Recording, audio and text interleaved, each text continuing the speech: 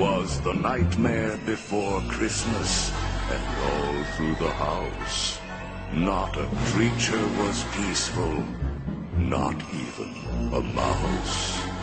The stockings, all hung by the chimney with care, when opened that morning, would cause such a scare. The children, nestled all snug in their beds, would have nightmares of monsters and skeleton heads.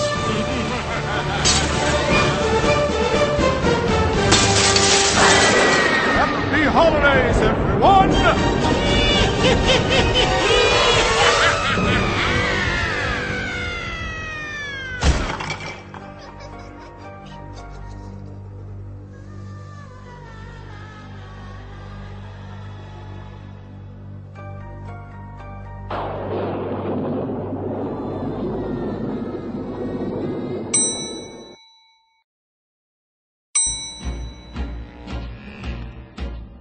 Well, well, well, what have we here?